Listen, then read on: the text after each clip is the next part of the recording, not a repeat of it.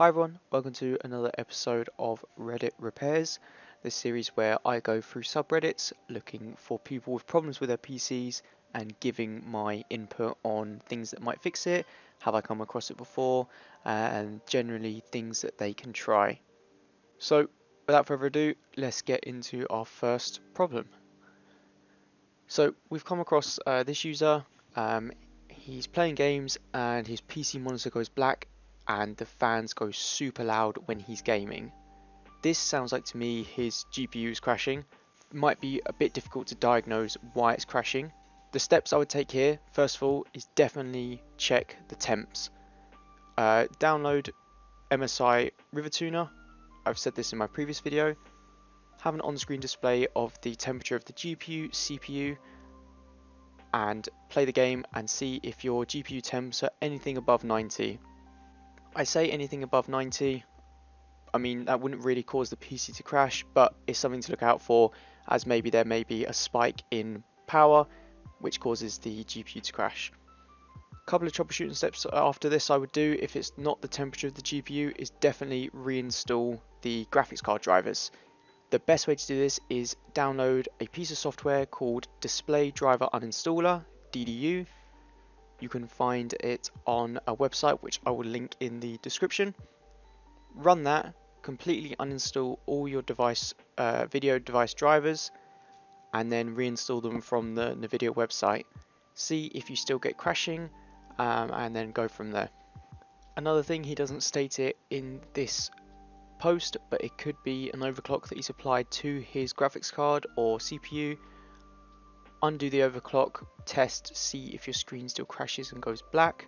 I would also test the PC at uh, stock RAM speeds, so turning XMP off just in case that's causing anything weird.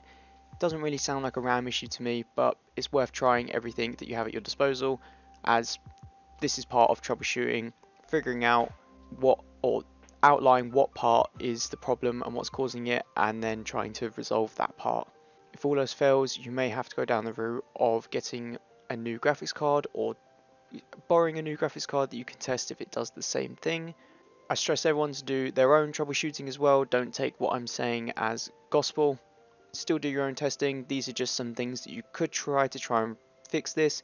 If all else fails, or if none of the steps you can come up with worked, you can always try and borrow a graphics card from a friend or if you have a spare one lying around and just testing just to see if you have any problems with that if you have no problems with another graphics card, then it may be that your the problem lies within the GPU itself and it's a hardware fault and you may need a GPU. This isn't really a fix, but it's more of advice that I can give to people who are looking to build their own PC. I see a lot of questions asking for tips on what GPUs and CPUs and RAM to buy, and a lot of these can be done just by searching up the builds on YouTube.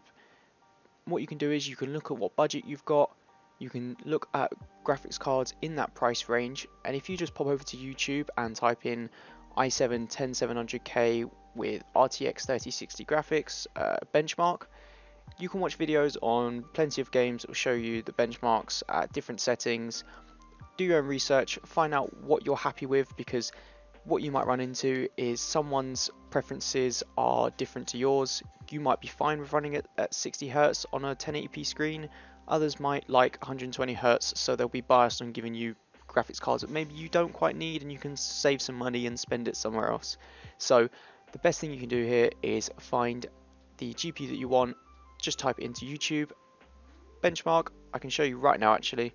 So here, I literally just typed in my configuration, i7 7700K, RTX 2080 benchmark, and here I've got plenty of videos with my setup showing me specs and what kind of performance I can get and I can then make the decision if I want to get an RTX 2080 or if it's slightly out my budget or I don't need to get that much FPS because I only have a 60Hz screen I can find a different um, different GPU and, and save some money. As I said put some money in somewhere else where maybe you can alleviate a bottleneck maybe in the future. A little bit more advice technically kind of a fix as well. Uh, this user here is asking is dual channel RAM or is this dual channel RAM and does the RAM sticks not cards sticks need to be in single channel to improve gaming performance? The answer to this is if your motherboard supports dual channel RAM, which pretty much all new motherboards do, you always want to run your RAM in dual channel, especially if you've got a Ryzen CPU, which I can see in his uh, next to his name there, he's got a Ryzen 5 5600X. Ryzen CPUs love the speed of RAM to be as high as possible, so XMP is great with Ryzen CPUs. In this screenshot, sorry for the squeaky chair, in the screenshot we can see that he's got both of his RAM sticks in channel A and channel B. Most or normally with motherboards you'll want the one of the RAM sticks in the far right slot and the other one in the second slot. Again, uh, the best thing to do here is to look at your motherboard's manual to check what slots your RAM sticks need to be in or what the preferred slots are for um, this motherboard. I, am saying slots, sorry, the correct term is DIMMs. But in order to get XMP working, it's slightly different, or it's in a slightly different location for all motherboards, but it's generally the same. Go into the motherboard and uh, the motherboard BIOS, sorry, and you turn on XMP. That simple. Uh, for Ryzen based CPUs um, or Ryzen based platforms, it's DOC, I believe, off the top of my head. Might have to double check that. I'll um, put a little thing up on the screen if I'm wrong what it's actually called. But once you've got that enabled, um, you should be good to go and your RAM's running in XMP and you'll be kind of using the speeds that you've bought or the, what the RAM is um, advertising. Sorry, I can't think of the word. Uh, a lot of people buy RAM sticks that are 3200, put them in their PC, uh, PC, and then they'll come on Reddit and go, why is my RAM only running at 2133 megahertz? It's because you don't have XMP enabled. Here we have a user who's having problems with their PC shutting down after installing a new SSD. This one sounded very weird to me when I was reading it and then I got to the very bottom where he said that he was in the BIOS and the CPU was nearly running at 100 degrees. So straight away, there's your problem. That's why your PC is shutting down. It's overheating when you're trying to open your VMs and it's shutting itself down to avoid damaging itself, damaging the components. Um, I can see here he said that the cooling system is all working. It may, well, there's either two things here. If it's a custom loop that you've set up and you can see that the pump is working, I check that there's no blockages anywhere, or you've knocked something while installing the SSD. Sounds like to me maybe the cooling pad, uh, sorry, cooling plate is not making contact with the CPU properly, which is why you're getting these incredibly hot uh, temperatures. If you have an AIO, it, again, it might be worth it checking that you haven't knocked anything and that the block is making proper connection with the CPU. It'd be really weird that the block would stop working after installing a new SSD, but double check that your pump is still working and pumping water to the CPU and then to the radiator. The best way to check this is just have the PC on long enough for the pump to start uh, start flowing water and just put your hand up against the block and just see if you can feel a slight vibration or put your hand on the tubes and see if you can feel a slight vibration. You're saying your water cooling is working. I'm not 100% sure because your CPU then would not be at 100 degrees yeah, this guy, uh, this guy's thinking what I'm thinking.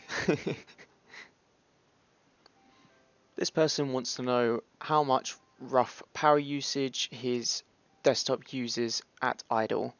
Uh, actually, desktop, maybe laptop, one of the two. Uh, the best way you can do this, or the way that I'm thinking of off the top of my head, is downloading a piece of software called Hardware Monitor.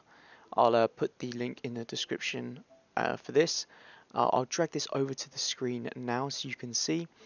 Uh, so using Hardware Monitor, it tells you all sorts of information.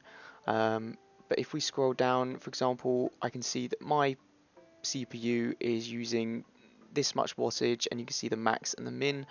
Uh, from here, you can make a, an estimate of how much it's using idle. If I scroll down, my GPU tells me the power. I don't think, doesn't look like RAM or my hard drives or SSDs tells the power, so this might not be the best. There may be some other ways, but this is one way you can check roughly how much both the two top components are using. Probably the best way, but will cost you a tiny bit of money, would just be to buy a wattage meter, have that plugged in where your PC is plugged in, and then you can monitor how much wattage the PC is using. But again, it's going to cost you a little bit of money. And that does it for this episode of Reddit Repairs. Uh, the last one I made was around 20 minutes long. I wasn't trying to make it that long. I was more trying to go for 10-15 minutes. If you do like slightly longer videos, uh, please let me know in the comments and I will try and make them a little bit longer. Hopefully some of these things in this video have helped you troubleshoot your problem or hopefully it's been a bit interesting and you've learned a few things. Again, if you want to see more content like this, feel free to subscribe, press the like button, leave a comment and let me know. And I'll uh, see you in the next one. Layers.